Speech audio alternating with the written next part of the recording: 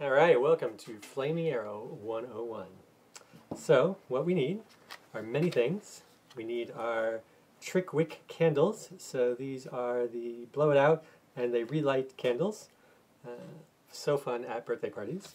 And also fun for flaming arrows. So inside each of these is a magnesium laced wick. And the magnesium burns extremely hot, which you need because the arrow travels fast enough that if you fire it with anything on there on fire, it blows it out immediately and doesn't relight again. So it doesn't have that nice dramatic effect. So the magnesium arrow relights uh, over and over again and keeps it lit in flight and at the end. So we're going to take one of these, best if they're frozen. So if you freeze them really hard so they're nice and frozen, then you can break them apart. I do this, I break it apart in three different places, give it a little wiggle, and then I use my thumbnail to make a little dividing line. This is like cooking. Enjoy your own favorite recipe of separating wax. Have fun with it. Come up with a song or something. and then you can see that there's a little bit of gray on the wick. As you can see on this lovely example here. If the wick is picked clean and you see it white, then you have a regular candle wick that won't do much. So you want to leave the magnesium on there. So there, see that the white part? You don't want that. You want the dark part. So you continue along this process, and whichever way you want, pull the wax off. Again, frozen makes this oh so much easier. And you go along. All right, we're going to do a Julia Childs. Ta-da! All done. And now the other pieces you need. Uh, you need eight of these. You need a piece of cheesecloth, which comes in these nice little uh, bolts like this. And one fold is about what you want. So as you unfold one piece, it makes a nice little crease, and that's how much cheesecloth that you're going to use. So we have our piece here, we have our eight wicks, we have our three twist ties. You want these to be paper twist ties, not the plastic kind. The plastic kind uh, melt and they don't burn, and they don't work as well. So these, you can get these at your fine local grocery store. Uh, beg, borrow, or steal, and they're yours. All right, so next, the assembly. You have one long sheet like this, fold it in half, a little crease, grab your handy dandy scissors, and cut it in half.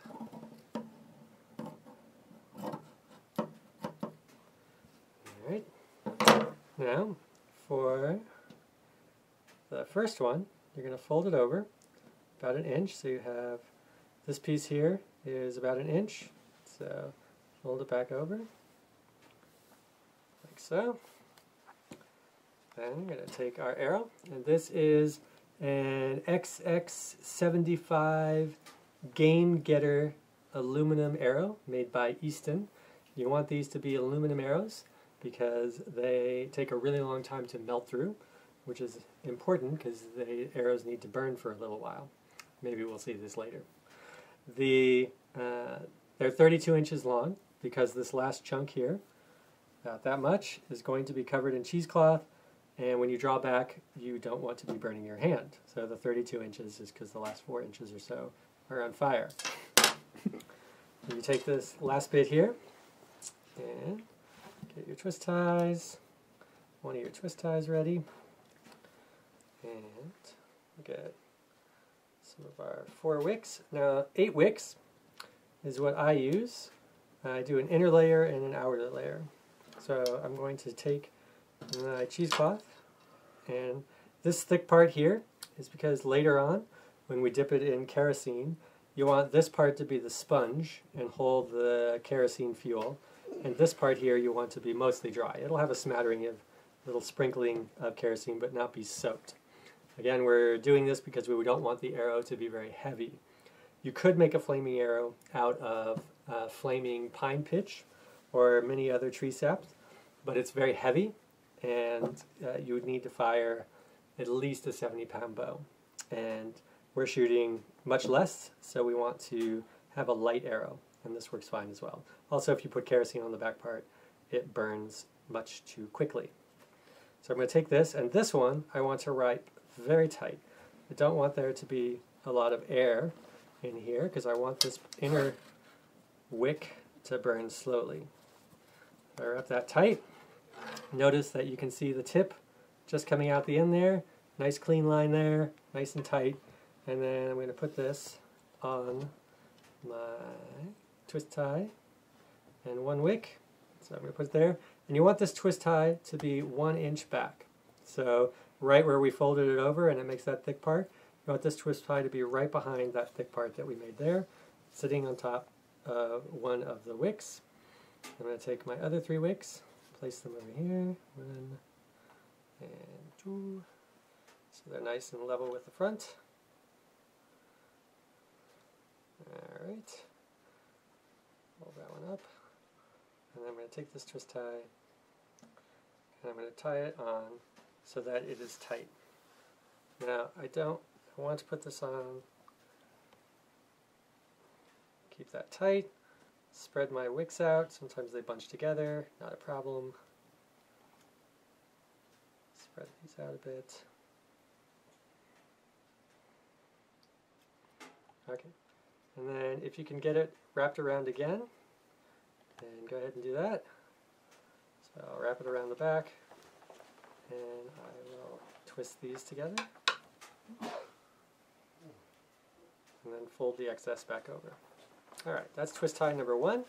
That holds those four wicks in place and also helps the kerosene when you dip this later not come back past this little arrow tourniquet back into this part. There we go. Next you take your other piece of cheesecloth and this one you don't fold. You leave it longer.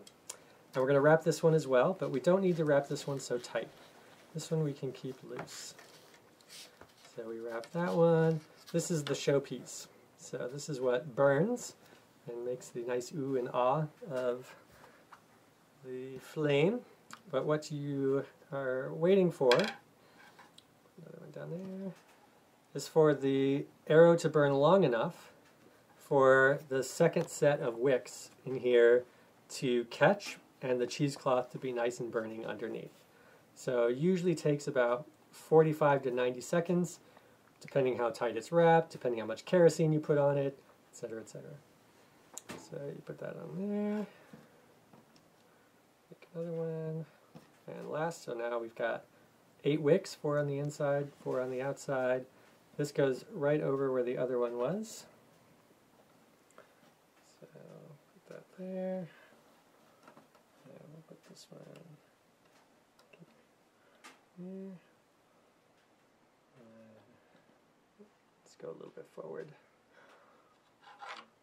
There we go. And I do this one. And this one isn't going to reach around again, so you twist a couple times. Take your handy dandy scissors, cut off the excess. And then just fold that back. That's good. Now, it's not done yet, because I have found that there is another key ingredient.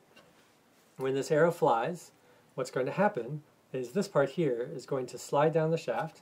It's going to fire, and it'll go wee, fly down like this, and then this happens. This bad. Now you have your flaming part next to the part that makes the arrow fly. This is bad. so you want to prevent that. So how to prevent that is to take this handy dandy little twist tie, your third one that you have left over, roll this up, and you put this at the back of the arrow. Now the reason this is a twist tie once tried it with duct tape. Ran out of twist ties. Duct tape is useful for everything. Not so useful for this. What happens is, when you duct tape the back of this, this part stays right where it is. When you fire it, it hits something, and the duct tape is strong enough that it doesn't allow this to slide down the shaft a little bit uh, from what it hit. And you want that to happen because although this is all nice and flaming, when it hits something, you want this not to actually enter what you're shooting at because I have fired these into gasoline soaked hay bales and nothing happens. They go out because there's not enough oxygen for this fire to light the gasoline, even though it's soaked in the hay, on fire. It needs to stay outside of it. Also fun for, uh, you can take powdered sugar and a little ketchup bottle And powdered sugar, you wouldn't think it'd be very flammable, but it is, and squirt it out into a, uh, a little butane torch. You can do it with a match, but the butane torch works great, propane torch, and you get these huge fireballs. Also works with flour. Anyway, the, uh, the fire needs oxygen, so the, it doesn't get enough. so what you're going to do is take this, and you're going to wrap this around the shaft right in the back, but you want to make sure that you don't get any cheesecloth in your twist tie here, right? You're only attaching it around the arrow. And then you'll wrap it back around the other way. Again, making sure not to get cheesecloth. And this, when it hits something, then you can put your cheesecloth back over it for a nice aesthetic effect. There we go. And so now, when this hits something, it's going to hit the target, and then, see, it's going to hit the target, and then the arrow will go into the target like so, and this will slide down the shaft and stay outside.